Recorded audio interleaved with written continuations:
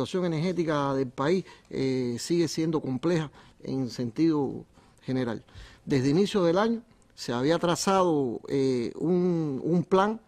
que, en el cual se trabajó intensamente para garantizar que el servicio eléctrico durante los meses de verano no tuviera ninguna afectación. Realmente las averías que tuvimos, que ocurrieron en las termoeléctricas de Mariel y Feto,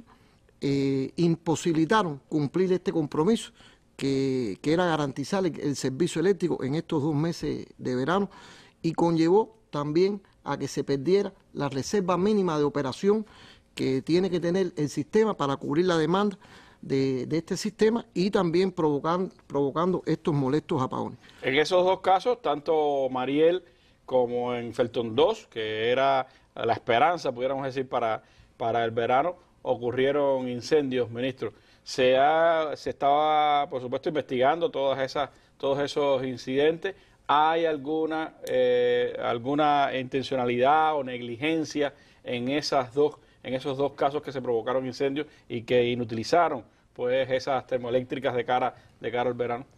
Bueno, Randy, yo te puedo asegurar que no ha existido ninguna negligencia ni ninguna intencionalidad en ninguno de los eventos esto que ha, que ha ocurrido. De hecho, que como ocurre con todos los hechos extraordinarios, se investigan eh, estas averías eh, por equipos multidisciplinarios en todos los órdenes, es decir, de automática, la parte mecánica, eléctrica, y esto está integrado también por, autoridades facultadas en las cuales eh, no se ha identificado y se puede llegar a la conclusión de que no ha habido ninguna negligencia ni ninguna intencionalidad. En los dos casos son, además, eh, podríamos decir, eh, cosas o, sucesos que, golpearon al, sistema. Porque en el caso de, Mariel, quizás Edier después lo explico un poquito, eh, se afectó no solo la que se quemó, sino una, una, una, unidad que estaba prácticamente, o sea, acababa prácticamente de, entrar. Y en el caso de Felton, era, la, como decíamos, la gran esperanza para, para el verano y en el momento que parecía que, que entraba,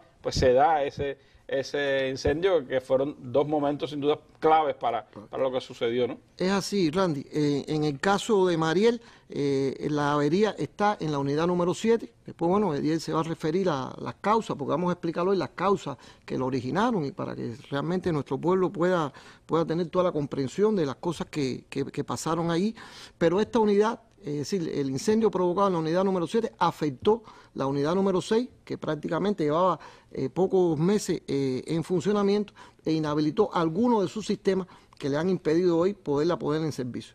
Y después, aunque tenemos que decir que todos estos sistemas están ya contratados para ponerlas en servicio, todas estas piezas de repuesto y todo este equipamiento dañado realmente tienen plazos de entrega que eh, rebasan las 26 semanas y es por eso que, no hemos podido poner esta unidad nuevamente en servicio. Y en el caso de Felton, bueno, se trabajó intensamente también, se trabajó intensamente. Como 80 días, ¿no? Fueron 120 días que se trabajó, ahí bueno, usted se pudo ver cuando se trajo el rotor aquí a la base central de reparaciones, se reparó, se hizo un trabajo muy, muy meticuloso, las 24 horas del día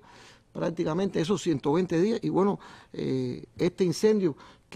que, se provocó, que el incendio no fue de, gran magnitud, pudo sofocarse de una manera rápida, pero afectó sistemas tecnológicos y, afectó sobre todo las columnas principales de esta, de esta, unidad que el trabajo que en cual tenemos que hacer, bueno, lo va a explicarle bien, es un trabajo bien complejo porque hay que prácticamente desmontar toda la caldera para poder reparar esta, estas unidades. Yo, esta unidad. Yo también quería decir que la Unión Eléctrica, bueno, tiene un sistema de trabajo que todas las salidas imprevistas que ocurren en el sistema eléctrico nacional y las incidencias que se dan en el CEN son analizadas, investigadas por un grupo de expertos y bueno, en cada una de ellas se llegan a las causas eh, que la originan y bueno, se toman las medidas correctoras cuando alguna de estas condiciones lo amerita en este, en este momento.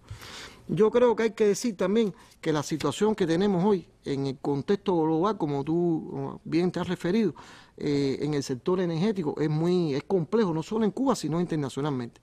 Y eh, las noticias lo contatan, ¿no? De la crisis energética que hoy afecta no solo a Cuba, sino también a varias regiones del mundo. En el caso de Cuba, la situación se agudiza, además por la persistencia del bloqueo que impone el gobierno de los Estados Unidos. Y en este sentido, como hemos explicado otras veces, hay ejemplos concretos que, hemos que se han explicado y se han puesto a la luz pública de cómo ha afectado directamente el bloqueo al sistema eléctrico nacional y en sentido general al sector energético, porque no solo en el sector eh, eléctrico, sino también en el sector eh, petrolero.